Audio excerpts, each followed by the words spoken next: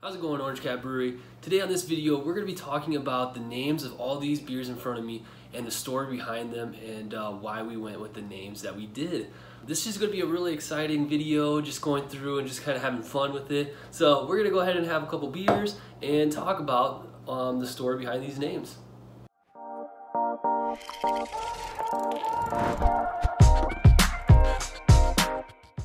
So before we get into the stories, I just want to say that these beers are in order from my very first batch to my uh, my recent most finished batch. We do have two more beers on the way. They're in the fermenter. Those are secret beers I can't talk about yet. Orange Cat Brewery uh, confidential information there.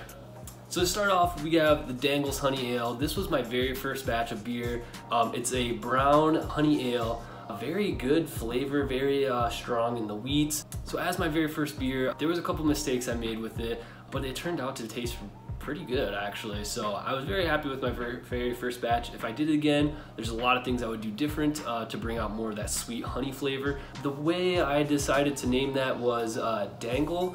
Um, I first got that nickname, uh, man, back in like middle school. My old middle school football coach um, used to call me Dangle. My last name is Langel. I don't know how he, why he did that, but um, that was the very first time I got that nickname. And then years later in college, uh, while making music with my friends, uh, I went with the name Dangle. That's a whole nother story, but basically, Dangles Honey Ale just seemed to fit very well for my first beer. And then next we got, uh, these two were brewed on the same day with uh, two really close friends of mine, aka Brewmaster uh, Miles Scott and Brewmaster Drew Peacock.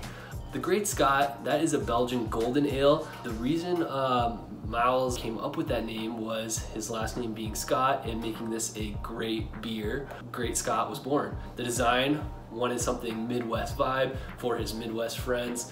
So cornfields, the name right in the middle, um, perfect logo, one of my favorites. And then um, a little bit more about the Peacock Classic. That is a Dunkelweizen or Dukenheisen um, in German, which means dark beer. We wanted this one, being a, just a unique beer, we wanted to name it something related to Drew, and his nickname being Peacock. He has a whole story about that, you gotta ask him. His information's right here if you're curious. And the reason we decided to go with that logo on that design was because we wanted something colorful. Having Peacock in the name, we wanted it to be colorful, we wanted it to stick out. Um, so those colors collided very well. The design was amazing put together. And th thus born was the Peacock Classic, a classic Dukenheisen German beer. And so next we have the Bolger's Fat Ale. This was an Oktoberfest beer. So the way I decided to come up with that name is I'm a huge Lord of the Rings fan and there is a hobbit in Lord of the Rings called Bolger. He's kind of an unsung hero um, in the Hobbit books. Uh, you won't even see him on camera in the movies. He was known for his merrymaking and joy making, so he was a very fun, festive hobbit that actually really helped uh, Sam and Frodo escape the Shire and stayed back and distracted the Ringwraiths, uh, put him off course, all that fun stuff. Oh, Sam. And so this beer was dedicated to Bolger the Fat Hobbit, uh, Bolger's Fat Ale. The logo was pretty simple. I used a mug from The Hobbit, put it on uh, the design, and then just added some great festive uh, coloring and whatnot to make it an even better looking beer. Up next, we got the Pumpkin Harvest Ale. This was a pretty straightforward design, really fun recipe, very unique. Uh, my first actual custom recipe that I designed. Um, and I used homemade or homegrown pumpkins from my Aunt Julia, and she's from uh, Granville, Iowa. So incorporating the zip code 51022 into the logo was a fun uh, kind of thing just to put in the background. And then of course having the pumpkin in the middle and some descriptions on the side just showing uh, a little bit more about the beer and the flavor complexity of it. And then again, the Holiday Delight, a uh, little play on words, just Holiday Delight. Um, it being a light beer just goes hand in hand. A really good name that uh, Drew and I came up with and we thought this was going to be a fun beer to share with uh, friends and family at the holiday times. So, so with it being the holiday times, what better design to go with than Christmas trees, glowing red uh, lettering, glowing green lettering, all that fused into this label makes it just stick out perfect for the Christmas time.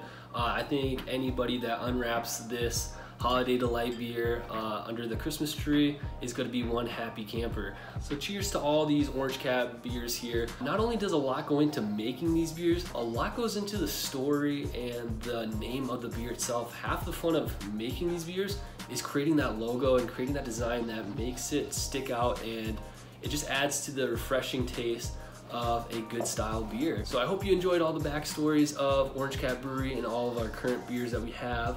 If you're interested in learning more, you can visit our website at www.nicklangel.com slash Orange Cat Brewery. There you can find more information about all these beers, the um, behind the scenes making of it. You can see information of ABV levels, IBU levels, um, and then of course the SWOT analysis of all the beers where we go and break down the strengths of the beers, the aromas of the beers, the taste of the beers, all that fun stuff. So again, that's www.nicklangel.com slash Orange Cat Brewery. So until next time, we'll see you on the next video with more how to brew tips, beer tasting videos, and generally everything beer. Cheers.